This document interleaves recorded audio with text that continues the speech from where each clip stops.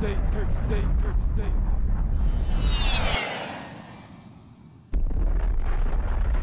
It's DJ Kirk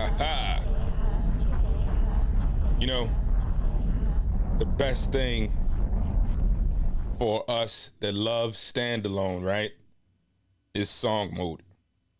And the reason for that is we can make our sequences, right? Me, I usually make at least three. One for the chorus, one for the hook. You know what I'm saying? One for the one for the verse, right? Or chorus and hook, same thing.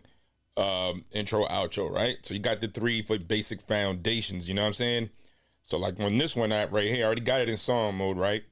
So let me, let me just go back a little bit for the beginners. Now, if you're a beginner, you know, this is for you, man. You know what I'm saying? This is man Kirk State. I don't do a lot of explaining, but today I'm going to explain a little something about song mode. You know what I'm saying? So basically, you just go ahead and hold down shift, hit song, boom, here we go, right?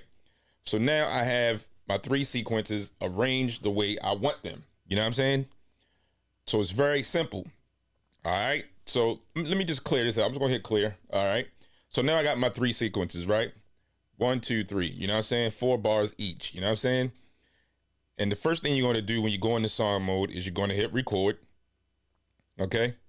You see the flashing lights, right? And then you go ahead and simply arrange it in the order that you want and how many times you want the sequence to repeat. All right. So usually I'll put my intro, outro on the third sequence, sequence, which is right here. Boom, right? You see that, right? It got loops one time, four bars. All right. That's all you need, right? So then I'll go and say, okay, I made the hook of ver- I mean the hook or the chorus or whatever you want to call it. Uh, that's the first one, right? So I get that bam, get that in there, right? Then I have this one for four bars, which is where the lyricist will spit everything, right? One, two, three, four. You see what I'm saying? Four times four is what? 16, folks. You know what I'm saying? If you went to United States school in the United States of America, I know math can be hard. you know what I'm saying? But yeah, usually 16 bars is very good for lyricists, right? Because usually the most basic songs back in the 90s, the boom baps and all of that, that were built around lyricism and not today's melodies, right? And the one the one minute 45 second multi-million dollar hit, we had songs that was at least three to four minutes long, right? And so you had at least three verses on there, right? And each verse was 16 bars. That's where the term comes from. Yo, son, spit 16 right now. You see what I'm saying? That's where that comes from. All right. So yeah, if you want them to spit the 16 bars on there, you know what I'm saying?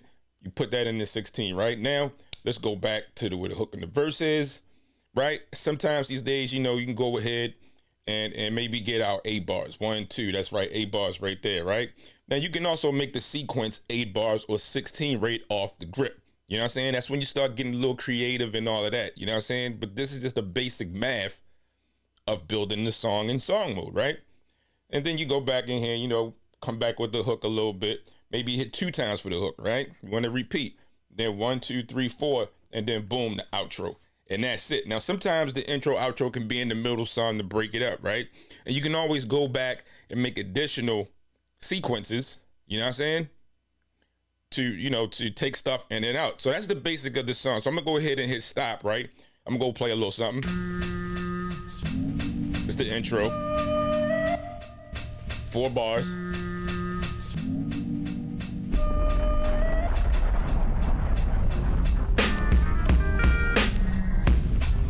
right into the first joint.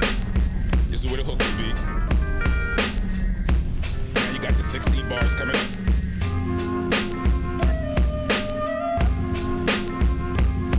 and you get the you get the basics of it. You know what I'm saying? Then we come over here to export, right? Boom, we still in standalone mode, no computer, no PC, nowhere, right? All right. Now me, I leave mines in waveform. I keep the bit depth 24, sample rate at 44.1. You know what I'm saying? And then I keep an audio tail on it, right? Right here is, is default at one second.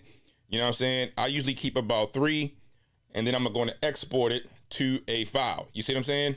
export Mr. Skip into the file, hit save. You know what I'm saying? And that's it. So then what I'll do with that, right? Now there's other ways of doing this, but what I what I'll do with that information, right? I will take that hardcore just that this whole song, right? Two or three minutes, however it comes out to be, three, four, I forgot what the actual time is. Once that comes out, then I can take that, put it on the SD card, and then drop it into my Mac or whatever I got, right? Put it in there, and then I can just load it up into whatever, Logic Pro or whatever, and make um, changes to it, or maybe get someone to, you know, do a little equalization on it, you know what I'm saying? As long as the levels is basic, you know what I'm saying? In this way, you can also maybe run it through the free software Audacity, right? I've done that plenty of times where I wanted to get the beat to the lyricist's ears. I'll take it, take the SD card, put it in my Mac. I may be at my nine to five or wherever it is I'm riding on the plane or whatever. I will take that, run it through normalization effect on on on Audacity, right? And then just email the beat to them, you know what I'm saying, in this nice and raw form. If they come back and say, yo, change this, change that, that's cool because I have the original files right here. And if you really, really, really get fancy, you know what I'm saying, then you go back to, uh, dang, what am I doing? You go back to, you go back here, right, to the main sequence pages and all of that, you know what I'm saying? And then from here, this is where you get fancy, you know what I'm saying? You come in, uh, you come into the, uh, you come into the, um, to the tracks individually, and then you go into explode mode. But that's a whole nother video. You know what I'm saying? All right. So with that being said, make sure you like, share all this, and subscribe to your man's in them Kirk State. You know what I'm saying? But yo, you know what I'm saying? I made this beat for you, but unfortunately, we wasn't getting no audio, and I wanted to keep it simple for you, at least give you something today. You know what I'm saying? Make sure you subscribe and also go to kirkstate.com to get to download the drum loops that I made for everybody. And I want you to chop them up really, really good, man. You know what I'm saying?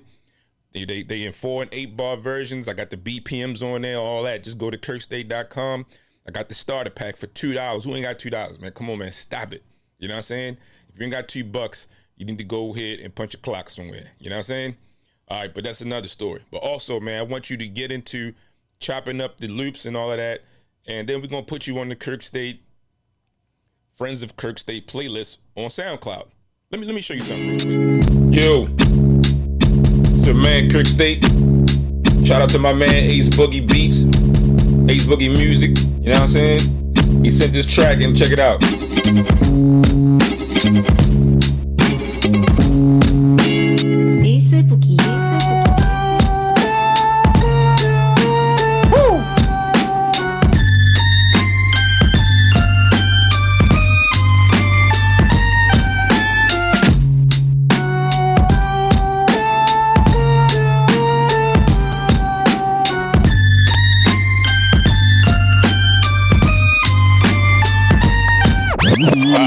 All right. So yo, send in your tracks to get on the Kirk States and Friends playlist on SoundCloud. You know what I'm saying? If you made something that's funky or something you made with my with my drum uh, loops packs and all of that, yo, send that joint in. Kirk.state.bookings at gmail. And we're gonna take a listen. And if it's if it's fire like that, it's getting on the playlist, man. You never know who's gonna hear your stuff, man. Let's go.